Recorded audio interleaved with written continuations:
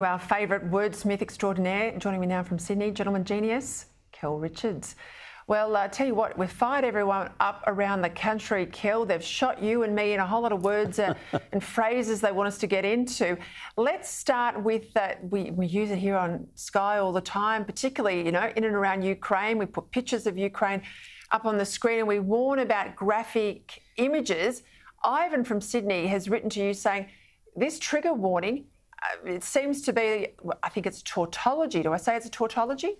Yes, yep. That, that's what Ivan is saying, and I understand his point. Uh, graphe comes from uh, Greek, uh, from the Greek word graphe, and it means to write or to draw. So, literally, a graphic image is an image image. So, Ivan's got a point if you're looking at it literally, but English is an idiomatic language, and graphic image is an idiom. Now, in an idiom, the, the meaning doesn't come from the individual words, but from the distinct. Um, meaning attaching to the idiom, to the collection of words. So graphic image has been used since 1858. So, sorry, Ivan, it's been a long time. To mean a very detailed image, particularly uh, shocking details. So it's okay. It's idiomatic English, been with us for uh, 170, 180 odd years. It's okay. And this is one thing that really grinds my gears too systemic and systematic. Uh, John, who's one of our viewers, has written about this one because it gets confused by a lot of people he's exactly right. It is confused, but it shouldn't be.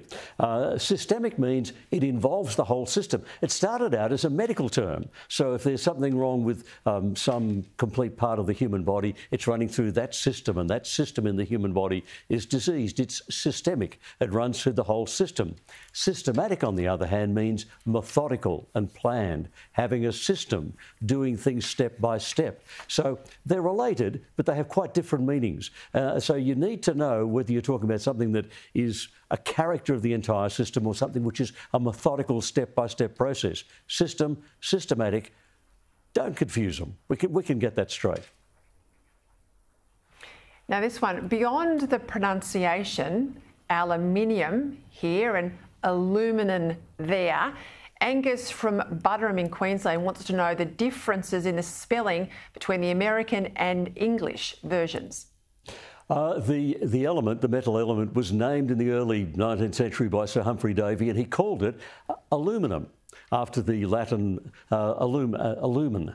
Now, a lot of people complained that's not the way you name um, elements they're meant to have Latin names, so you need an IUM ending to it. So other chemists turned around and started calling it aluminium, and aluminum and aluminium lived side by side through the 19th century.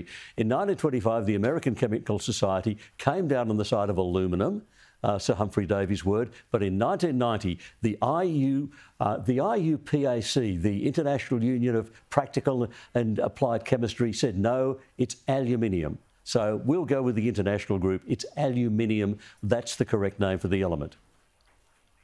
So that means we're right, which is good. Hey, this is of particular relevance to me, but uh, the gong, we say, you know, you've got a gong.